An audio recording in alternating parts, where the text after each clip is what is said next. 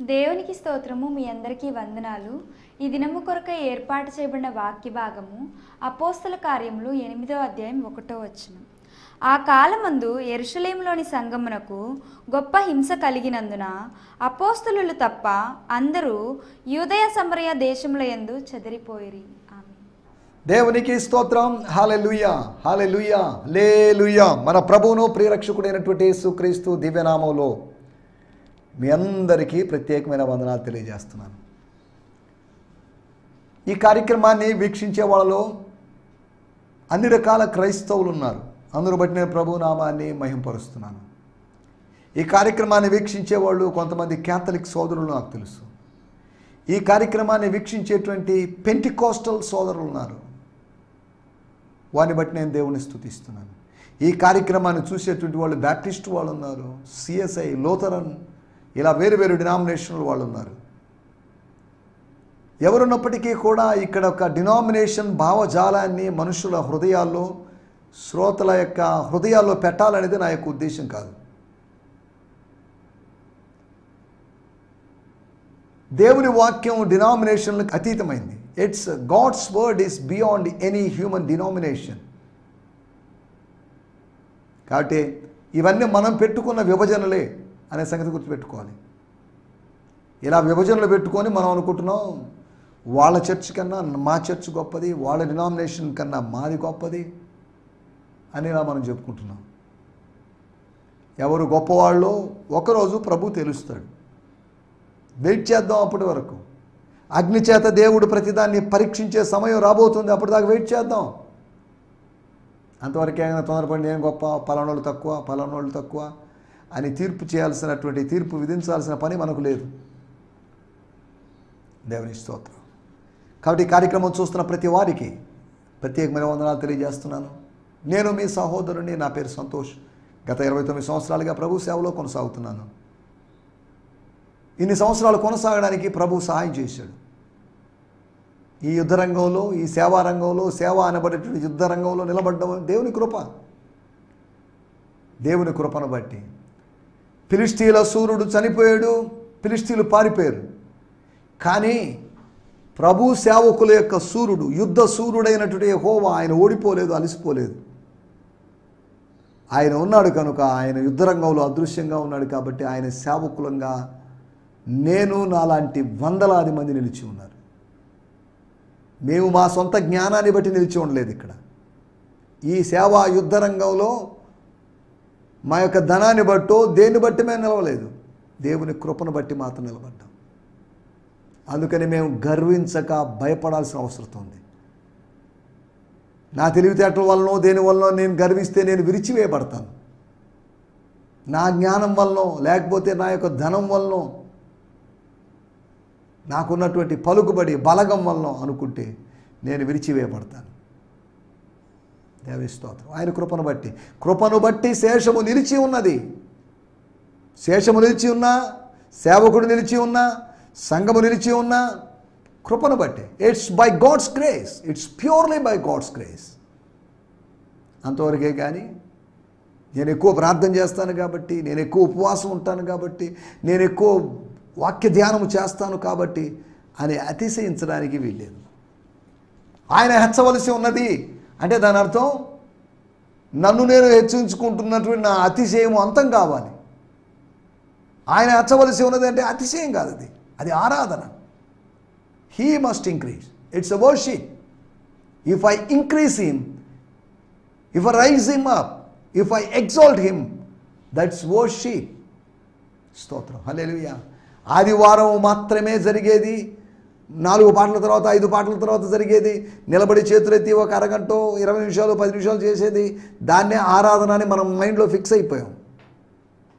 కాదు సోమవారం నుంచి శనివారం దాకా నీకు దేవునికి ఉన్నటి సంబంధంలో నువ్వు నిన్ను నువ్వు సమర్పించుకుంటూ ఆయన తన నీకు కావలసినవి అనుగ్రహిస్తూ జరిగేటువంటి ఈ టూ వే కమ్యూనికేషన్ లేకపోతే ఈ రిలేషన్ దిస్ ఈజ్ వర్షిప్ అంతవరకే కానీ ఫలాందే వర్షిప్ అని ఆత్మతో సత్యముతో మనం ఆరాధిస్తున్నాం. పరిశుద్ధాత్ముడు అందుబాటులో ఉన్నాడు. పరిశుద్ధ లేఖనాలు అందుబాటులో ఉన్నాయి. పరిశుద్ధాత్ముడు పరిశుద్ధ లేఖనాలు కలుసుకొని ఈ రెండు ఈ రెండు అనుభవాలు మనల్ని పరిశుద్ధమైనటువంటి ఆరాధనలో నిలుపుతున్నాయి. దేవుని స్తోత్రం. హలేలుయ సమయంలో రండి మనం దేవుని వాక్యాన్ని ధ్యానించుకుందాం. నా రెండు ఫోన్ నంబర్లు ఎక్కడ ఉన్నాయి మీరు నన్ను కాంటాక్ట్ చేయొచ్చు. రెండు ఫోన్ నంబర్లు ఒకేసారి నేను వాడకపోవచ్చు. ఎక్కువ నా జియో ఫోన్లో ఉంటాను ఐడియా ఫోన్ తక్కువగా వాడతాను. అయినప్పటికీ మీరు కాంటాక్ట్ చేయండి వాట్సాప్లో కాంటాక్ట్ చేసినప్పుడు. నేను మిమ్మల్ని సంప్రదించడానికి నేను మీతో మాట్లాడడానికి ప్రభు నా మనసులో అనుగ్రహించినటువంటి థాట్స్ తలంపులో లేదా ప్రత్యక్షతో లేదా ప్రొఫెటికల్ వర్డ్ లేదా రేమానో ఇంకేదైనా అనుకోవచ్చు మీరు. అవి నేను తెలియజేయడానికి సిద్ధంగా ఉన్నాను. మీ దేవజనుల ద్వారా మీ స్థానిక సంఘ కాపరుల ద్వారా మీరు దేవుని వాక్యం దేవు దేవ ప్రత్యక్షతలు పొందుతున్నారు. అయినప్పటికీ అవసరం అనిపిస్తే కొంతమంది ప్రభువుని కొత్తగా నమ్ముకున్నటువంటి ఒక కుటుంబం ఈ మధ్యకాలం టీవీలో కార్యక్రమం చూసి వారు నన్ను సంప్రదించడం జరిగింది. కొత్తగా వచ్చారు. ఇంకా బాప్తీసం కూడా తీసుకోలేదు. అక్కడక్కడ దేవ కార్యాలు జరుగుతున్నాయి. టీవీ కార్యక్రమాల ద్వారానో మన ప్రోగ్రాం ద్వారా అని కాదు నేను అంటాం దేవుని కార్యాలు జరుగుతున్నప్పుడు మనం దేవుని స్థుతించాలి. మన నెల్లూరు జిల్లాకి చుట్టుపక్కల ప్రాంతాల్లో కావల్లోను బెట్రగుంట్లోను ఆయా ప్రాంతాల్లో దేవ కార్యాలు జరుగుతున్నాయి. నెల్లూరు టౌన్లో దేవ కార్యాలు జరుగుతున్నాయి. అన్ని జనులైన వారు మత మార్పిడి అనేటువంటి దానికి అవకాశం లేకుండా బలవంతపు మత మార్పిడి అనే దానికి అవకాశం లేకుండా వాళ్ళు స్వయంగా ప్రభువులో కలుసుకుంటున్నారు. రక్షణ పొందుతున్న వారిని అనుదినము ప్రభు వారితో చేర్చుచుండెను. నెల్లూరులో ఉన్న సంఘంలో ఇన్ని సంఘాలు లేవు. నెల్లూరులో సంఘం ఒకటే దేవుని సంఘం ఒకటే. అది ఏ సంఘం అండి? ఎక్కడ ఉందండి అని కాదు. మొత్తం నెల్లూరు మొత్తంలో వందల సంఘాలు ఉండొచ్చు. ఆంధ్రప్రదేశ్ మొత్తంలో వేల సంఘాలు ఉండొచ్చు. కానీ సంఘం ఒకటే. సంఘం ఒకటే అంటున్నప్పుడు ఇది వన్నెస్ను గురించి మాట్లాడుతున్నారా? యూనిటీ గురించి మాట్లాడుతున్నారా?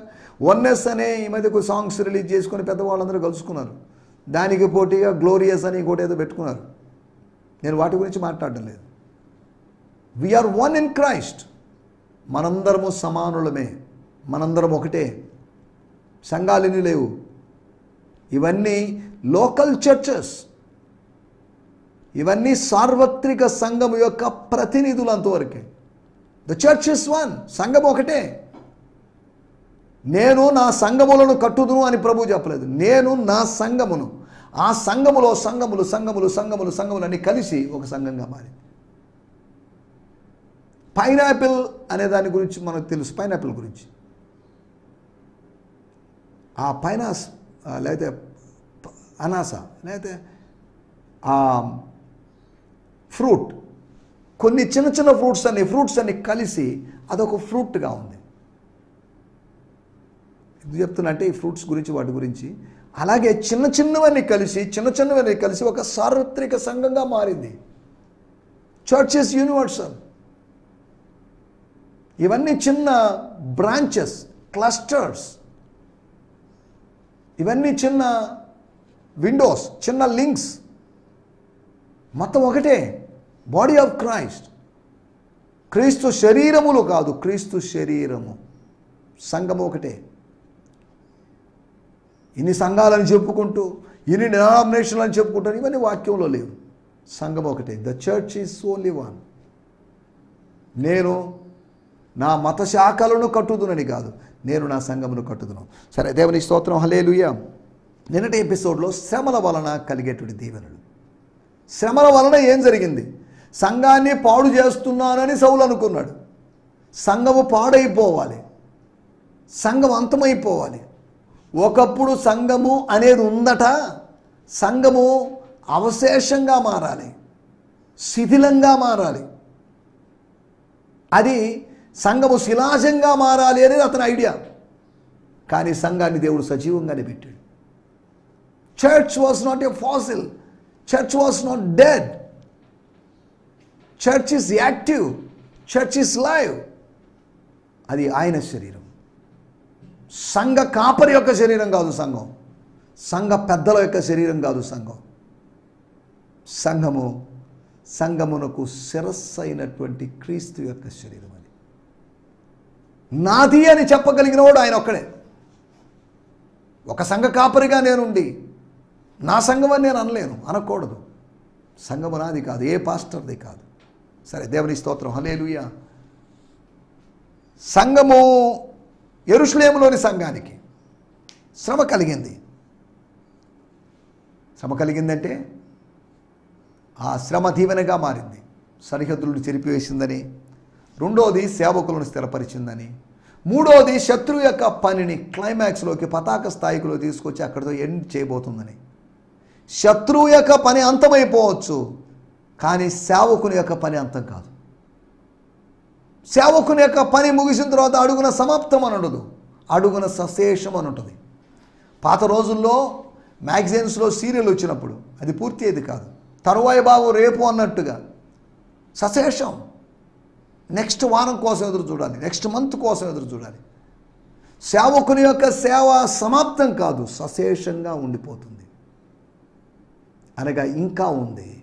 ఇంకా ఉంది. దేవుని స్తోత్రం. ఈ సేవ తరతరాలుగా కొనసాగుతుంది.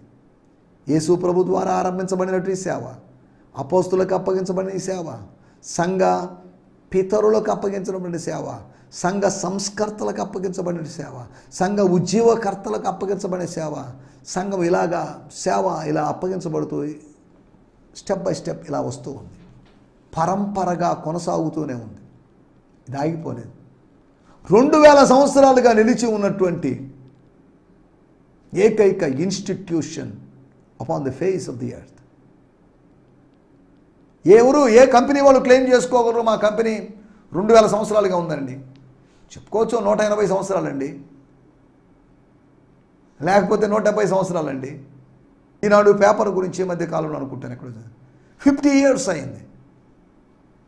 వాళ్ళ fifty years hundred years one twenty years two hundred years అని చెప్పుకోగలరే కానీ చర్చ్ను గురించి మనం చెప్పుకోవాలంటే ఇట్స్ గాడ్స్ ప్రోడక్ట్ అయినటువంటి గాడ్స్ ఫ్యాక్టరీ అయినటువంటి చర్చ్ను గురించి చెప్పుకోవాలంటే this is two thousand years old history కలిగినటువంటి. దీనికి ఎక్స్పైరీ డేట్ అంటూ లేదు కొనసాగుతుంది. ప్రభువు రాకడ వరకు కొనసాగుతుంది. ప్రభువు రాకడ ఎప్పుడూ ఎక్స్పెక్ట్ చేయలేము అప్పటి వరకు ఎక్స్పైరీ డేట్ లేకుండా ఇది కంటిన్యూగా ఈ ఎక్స్ప్లోజన్ జరుగుతూనే ఉంటుంది అనే సంగతిని మీకు గుర్తు చేస్తున్నాను. దేవుని స్తోత్రం. హలేలుయ్య అంతేకాకుండా సువార్థికులను సిద్ధపరిచింది. కొంతమంది సేవకులు సువార్థికులు తయారయ్యారు. The byproduct of the persecution is evangelist సువార్థికులు తయారయ్యారు. దేవుని స్తోత్రం గత గత ఎపిసోడ్లో వీటి గురించి మనం మాట్లాడుకున్నాం రండి ఈ దినం కూడా మన ధ్యానం నిమిత్తమై అపోస్తుల కార్యములు ఎనిమిదో అధ్యాయము ఒకటో వచనం book of Acts eighth chapter first words ఆ కాలమందు మ్మ్. యెరూషలేములోని ఆ. సంఘమునకు మ్మ్. గొప్ప హింస కలిగినందున మ్మ్. అపోస్తులు తప్ప అందరూ యూదయ సమరయ దేశముల యందు చెదరిపోయింది ఆ కాలమందు అనే తర్జుమా కూడా కరెక్ట్ కాదండి ఆ దినమందు అప్పటి నుండి అనేది కరెక్ట్. ఇంగ్లీష్లోనూ లేదా మలయాళం కన్నడ తమిళ్ హిందీ వీటిలో చూస్తే ఆ రోజు నుంచి శ్రమ అధికమైంది. శ్రమ ఉంది కానీ శ్రమ అధికమైంది. యేసు ప్రభు ఉన్న కాలంలో శ్రమ ఉంది. యేసు ప్రభు వెళ్ళిన తర్వాత శ్రమ ఉంది. యేసు ప్రభు సేవకులు ఆయన యొక్క శిష్యులు ఉన్నది కాలం. వాళ్ళ శిష్యులు ఉన్నంతకాలం వాళ్ళ శిష్యులు ఉన్నంత కాలం వాళ్ళ శిష్యులు ఉన్నంత కాలం. ఇలా శ్రమ అనేది సంఘం ఉన్నంత కాలం సంఘానికి శ్రమ కూడా ఉంది. సంఘములో నుంచి శ్రమను విడదీయలేము. సంఘము యొక్క నీడలాగా వెంటాడింది శ్రమ. This persecution become like a shadow of the church అనగా షాడో గతించిపోతుంది. రియల్ రియాలిటీ అనేది ఉండిపోతుంది. నిజస్వరూపం నిలిచిపోతుంది నీడ గతించిపోతుంది శ్రమ గతించిపోతుంది కానీ సంఘము నిలిచిపోతుంది. లోకము దాని ఆశయు గతించిపోను. లోకము నీడలా గతిస్తుంది లోకము యొక్క ఆశ నీడలాగా గతిస్తుంది. The world and its passions and its desires and its dreams and its visions they will perish they will die దేవుని స్తోత్రం. కానీ నిలిచి ఉండేది దేవుని చిత్తాన్ని జరిగించేవాడు. జరిగించే వాళ్ళ సమూహమైనటువంటి సంఘం. Overcomers అనబడినటువంటి church church is a group of overcomers church is group of called out people దేవుని స్తోత్రం. Church is a group of people who fulfil God's will దేవుని చిత్తాన్ని నెరవేర్చేవాళ్ళు. దేవుని విధానములో జయించేవాళ్ళు. దేవుని కొరకు లేదా దేవుని చేత పిలవబడిన వాళ్ళు చోసన్ పీపుల్ నీతిమంతులుగా తీర్చబడి ఇది దేవుని సంఘం. సరే దేవుని స్తోత్రం. హలేలుయా ఎనిమిదో అధ్యాయము ఒకటో వచ్చిన ఆ కాలమందు అనేటువంటి తర్జుమ ఆ దినాల్లో అని పెట్టుకోవచ్చు అంటే అది కూడా తప్పే. ఆ దినము నుండి ఏ దినము నుండి? స్టెఫను చంపబడిన దినము నుంచి. పోనీలే గొప్ప విజయం సాధించాం ఇక్కడితో ఆగిపోదాం కొద్ది బ్రేక్ తీసుకుందామని సౌలు అనుకోలేదు. నా వర్క్ ఇంకా అయిపోలేదు నా వర్క్ అంతమైపోలేదు నా వర్క్ జస్ట్ స్టార్ట్ అయింది. మెయిన్ వికెట్ తీసేసామని చెప్పేసి బౌలర్ సూరుకోరు. అలాగే ఒక బౌలర్ లాగా బైబిల్ బ్యాట్స్మెన్ల మీద ఆయన అగ్నిబాణాలు. లేదు అంటే అగ్ని balls. Fire balls fiery balls వేస్తున్నాడు. అనగా అటాక్ చేస్తున్నాడు. హింసాకాండ దేవుని స్తోత్రం. ఈ సంఘకాండలో జరుగుతున్నటువంటి హింసాకాండం చూడండి. ఈ సంఘ పర్వంలో జరుగుతున్నటువంటి హింసా పర్వం. సంఘ స్కందంలో జరుగుతున్నటువంటి హింసా స్కందం. సరే దేవుని స్తోత్రం ఈ మాటలు ఎందుకు ఉపయోగించాను మీలో కొంతమందికి అర్థమేంటో నేను వీటిలోకి వెళ్ళలేదు.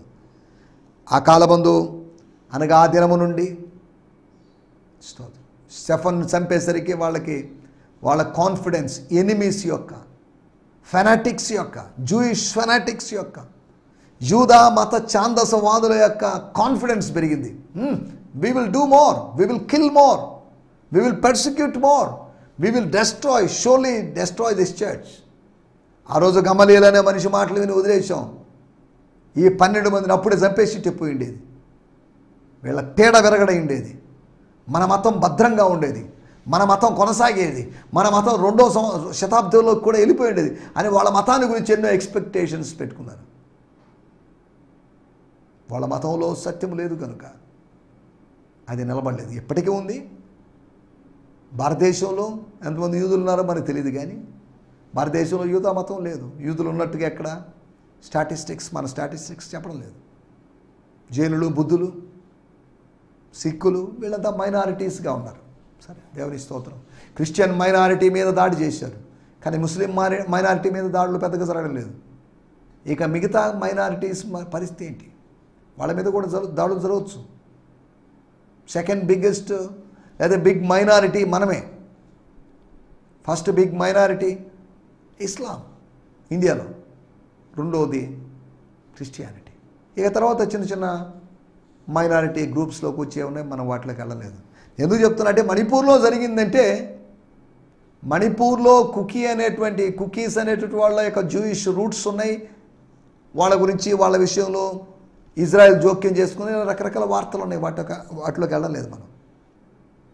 ఇక్కడ కూడా సంఘం విషయంలో ఎవరు జోక్యం చేసుకోవడం లేదు. సంఘం విషయంలో సంఘానికి శ్రమ జరిగినప్పుడు దేవుడు జోక్యం చేసుకున్నాడు. సంఘానికి శిరస్సు అయిన వాడు జోక్యం చేసుకున్నాడు. ఎనిమిదవ అధ్యాయంలో శ్రమ జరిగింది. కానీ శ్రమకు గురి చేసిన వాడి మార్పు తొమ్మిదవ అధ్యాయంలో జరిగింది. కొన్ని వచనాల్లోనే కొన్ని వచనాల తర్వాతనే స్టోరీ పెద్దగా జరగకముందే స్టోరీ స్లోగా నడుస్తున్నప్పుడే దేవుడు ఒక వ్యక్తిని పట్టుకున్నాడు. స్తోత్రం. ఏ ఏడవ అధ్యాయం చివరిలో స్టెఫన్ చంపబడ్డాడు. తొమ్మిదవ అధ్యాయంలో మారంభంలోనే సౌలు పట్టబడ్డాడు. మనం ఆలోచిస్తున్న విషయాల్లోకి వచ్చేద్దాం. గొప్ప హింస గొప్ప హింసకు ముందు జరిగినటువంటి హింస మామూలు హింస కాదు ఇది. గొప్ప హింస అని రాయబడింది. చిన్న హింస కాదు. దాని యొక్క తీవ్రత. శ్రమకాలమును గురించి మతైసు వార్తలో జాకబ్స్ ట్రబుల్ అని చెప్పబడినటువంటి లేదా ఇస్రాయలు ప్రజలకు కలిగేటువంటి కష్టం కాబట్టి జేకబ్స్ ట్రబుల్ అన్నారు. అనగా ఏడు సంవత్సరాల శ్రమకాలం ఉంటుందని ఆ శ్రమకాలంలో మొదటి మూడున్నర సంవత్సరం కాస్త ఉన్నా కానీ తర్వాత మూడున్నర సంవత్సరం సీవియర్గా ఉంటుందని ఈ మాటలు మనం లేఖనాల్లో చూస్తున్నాం. మీకోసం నేను ఒక లేఖన భాగాన్ని చదవాలని ఆశిస్తున్నాను. స్తోత్రం. మత స్వార్థ ఇరవై నాలుగో వచ్చాయి అయ్యో పంతొమ్మిదో వచ్చినాం ఆ దినములలో గర్భిణులకును పాలిచ్చు వారికి శ్రమ. ఇరవై వచ్చిన అప్పుడు మహాశ్రమ కలుగును గనుక మీరు పారిపోవుట చలికాలం విశ్రాంతి దినమందను సంభవింపకుండా వల్లని ప్రార్థించుడి. ఇరవై ఒకటో వచనం. లోకారంభము నుండి ఇప్పటి వరకు అట్టి శ్రమ కలుగలేదు ఇక ఎప్పుడునూ కలుగబోదు. దేవుని స్తోత్రం. ఇంకొక వచనాన్ని ఇరవై రెండో వచనం. ఆ దినములు ఆ శ్రమ దినములు తక్కువ చేయబడకపోయినలా ఏ శరీరియు అనగా ఏ మానవుడు తప్పించుకోలేడు.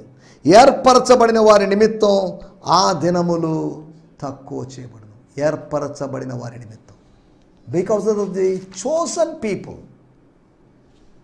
those days were decrees నేను ఇవన్నీ ఎందుకు చదివానంటే అంటే సంఘం ఏడేళ్ళ సమకాలంలో ఉందని చెప్పడం కాదు నా మాటల యొక్క ఉద్దేశం. మళ్ళీ దయచేసి అలాగా వక్రీకరించి వ్యాఖ్యానం చేయొద్దు అపార్థం చేసుకోవద్దు.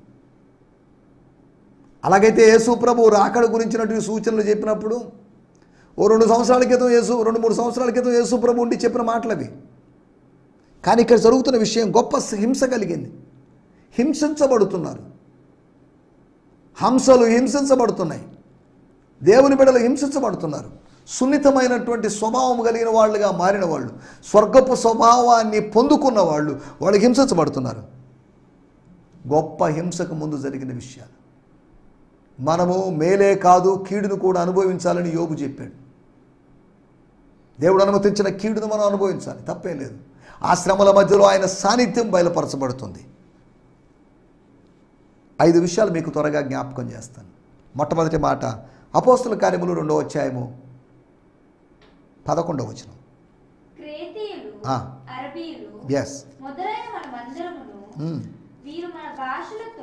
వీరు మన భాషలతో మన మన ఓన్ లాంగ్వేజ్లో దేవుని గొప్ప కార్యములను దేవుని గొప్ప కార్యాలను ఏ ఇదేంటి మనం వింటున్నామంటే మనం ఏం వింటున్నామో తెలుసా? ఏదో అన్ని భాషలు వింటున్నామని కాదు గొప్ప కార్యాల గురించి వింటున్నాం. ఆ అన్య భాషలలో ఉన్న మెసేజ్ దేవుని గొప్ప కార్యాలు. అన్య భాషలతో మాట్లాడువాడు మర్మములు మాట్లాడుతున్నాడు ఇట్స్ ఎ మిస్టరీ గొప్ప కార్యాలు దేవుని గొప్ప కార్యాల గురించి వాళ్ళు మాట్లాడుతున్నాడు కాదు వివరిస్తున్నారు వాళ్ళు. అన్య భాషలలో ఒక వివరణ జరుగుతుంది. అన్య భాషలలో దేవుని గొప్ప కార్యాల ప్రస్తావన జరుగుతుంది అనే విషయాలు క్రేతీలు అరబీలు లేకపోతే మిగతా ఇంచుమించు ఒక పదిహేను రకాల ప్రజలు వర్గాల ప్రజలు అక్కడ ఉన్నారు వాళ్ళు చెప్పుకుంటున్న మాట. గొప్ప కార్యాలు వివరించబడుతున్నాయి. మనమేమో పనులను అల్లాడించడం గురించి ఆలోచిస్తుంటే వీళ్ళు గొప్ప కార్యాలను అల్లాడిస్తున్నారు. గొప్ప కార్యాలు అనే పనులను అల్లాడిస్తున్నారు. సరే దేవుని స్తోత్రం. హలేలుయ ఒకటి గొప్ప హింసకు ముందు గొప్ప కార్యాలు జరిగాయి. రెండో విషయాన్ని నేను మీకు జ్ఞాపకం చేస్తాను. ఐదో అధ్యాయము పదకొండవ వచనం. అపోస్తుల కార్యములు ఐదో అధ్యాయం పదకొండవ అంతటికి ఎస్ దేవుని స్తోత్రం.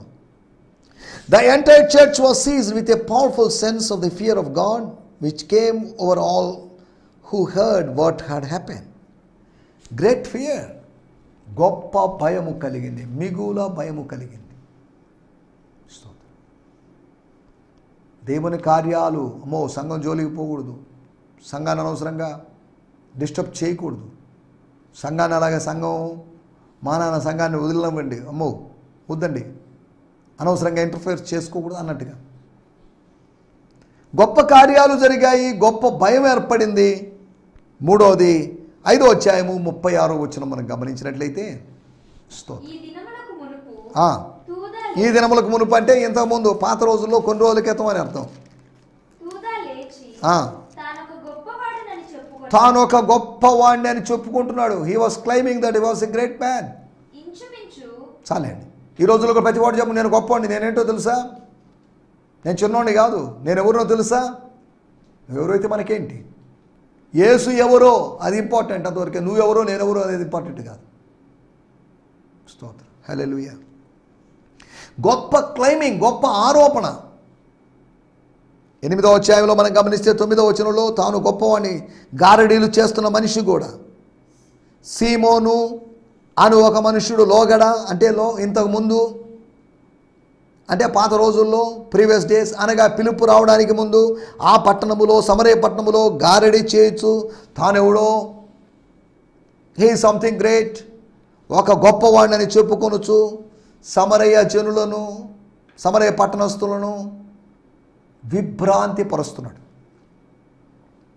దేవుని స్తోత్రం. గొప్ప ఆరోపణ చూడండి. నాలుగో విషయం నేను మీకు జ్ఞాపకం చేస్తాను. ఆరో అధ్యాయము పదో వచనం. మాట్లాడుట యందు మాట్లాడుట ఎందు అతడు అగుపరిచిన జ్ఞానమును. ఆ మామూలు జ్ఞానం కాదు. స్టెఫను ఆ సభ మధ్యలో ఆ కాంగ్రిగేషన్ మధ్యలో ఆ అసెంబ్లీ మధ్యలో ఆయన చెప్పిన మాట మాట్లాడుట ఎందు అతడు అగుపరిచిన జ్ఞానము. అతనికి ఏదో జ్ఞానం ఉందని బాగా చదువుకున్నాడు స్కాలర్ అయ్యాడని కాదు. అతన్ని ప్రేరేపించిన ఆత్మను. అతనిని ఆత్మ ప్రేరేపిస్తే అతను మాట్లాడాడు. అతను మాట్లాడేప్పుడు పిచ్చి మాటల్లాగా లేవు. అతని మాటల్లో జ్ఞానం బయటపడింది. దైవ జ్ఞానము బయటపడింది. ఓహ్ షాక్ అయ్యారు. అమేజర్ ఏంటిది? ఇలా మాట్లాడుతున్నాడు. అతనికి కౌంటర్ వేయలేకున్నాం అలాంటి మాటలు మాట్లాడాడు. దేవుడు అతనికి అనుగ్రహించిన గొప్ప జ్ఞానం.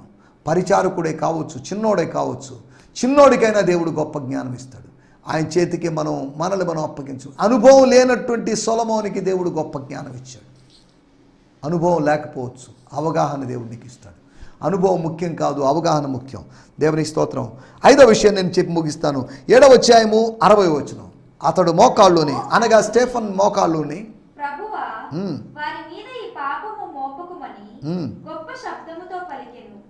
ఈ మాట గొప్ప శబ్దముతో పలికిన సిలువలో యేసు ప్రభు తన ప్రాణాన్ని అర్పించినప్పుడు గొప్ప శబ్దం గొప్ప కేక వేశాడు.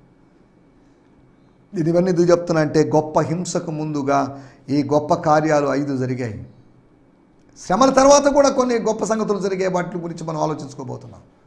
గొప్ప దేవుడు గొప్ప కార్యాలు చేస్తాడు. గొప్ప హింసను అనుమతించినప్పటికీ కూడా గొప్ప దేవుని సాన్నిధ్యం గ్రేట్ గాడ్ యొక్క ప్రజెన్స్ మన మధ్యలో ఉంది. కనుక విషయాన్ని మర్చిపోకుండా ధైర్యం కలిగి ముందుకు సాగడానికి ప్రభు మనకు సహాయం చేయనుగాక. ఆమెన్. హలే లూయ లే లూయ మీ అందరికీ వందనాలు. ఈ సందేశము మీకు ఆశీర్వాదకరంగా ఉందని నమ్ముచున్నాము. ప్రార్థన అవసరతల కొరకు మమ్మల్ని సంప్రదించవలసిన మా చిరునామా గిద్యోన్ మిషన్ చర్చ్ ఆరవ వీధి శాంతినగర్ నెల్లూరు ఫోర్ ఆంధ్రప్రదేశ్. పిన్ ఐదు రెండు నాలుగు సున్నా సున్నా నాలుగు. మా ఫోన్ నంబర్లు seven zero three six double four three six one three మరి ఒక number nine three nine double two nine three zero one zero. మా email ID GFI HMI two thousand fifteen at the rate of Gmail dot com దేవుడు మిమ్మను ఆశీర్వదించునుగాక. ఆమె